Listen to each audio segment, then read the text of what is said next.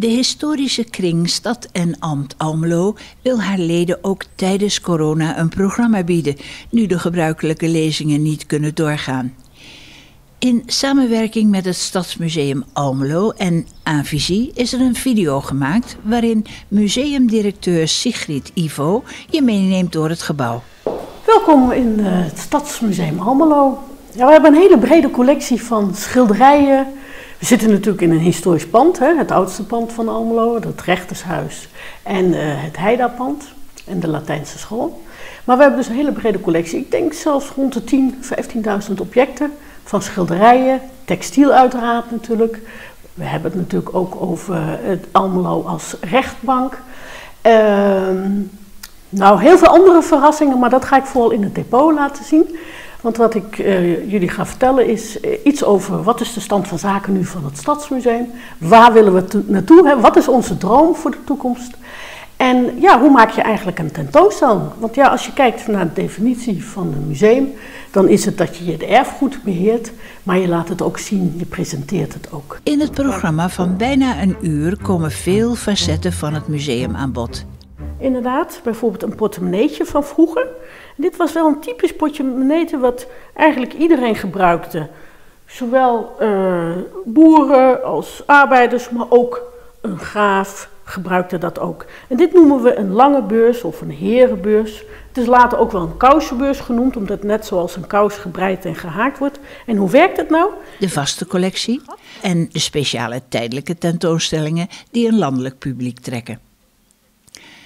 We mogen ook mee het depot in om een kijkje achter de schermen te nemen. Daarbij zijn een paar bijzondere bezittingen van het museum te zien. Schilderij van Gorten. Want we hebben natuurlijk een hele grote schilderijencollectie inderdaad. En dit is wel een van onze meest waardevolle schilderijen. Aquarel van en hoe ziet de toekomst van het museum eruit nu de gemeente zwaar wil bezuinigen? We zijn het enige museum in Almelo. En u heeft natuurlijk gehoord dat wij bezuinigd gaan worden. En ik denk, nou, dat vind ik wel heel erg triest, vind ik dat.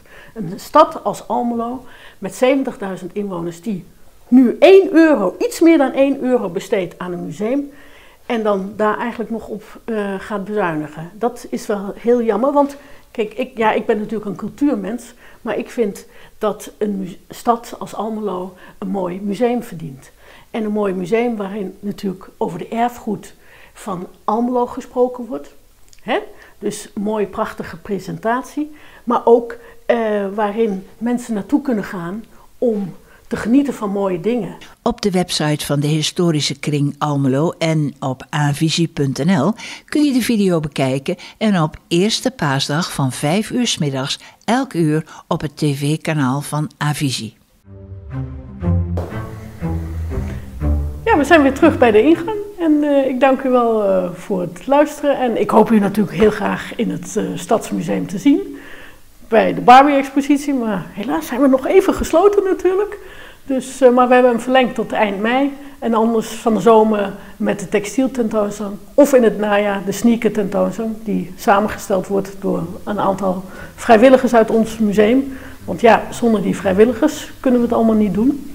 En dus ik kom van harte welkom dat u komt genieten van ons museum.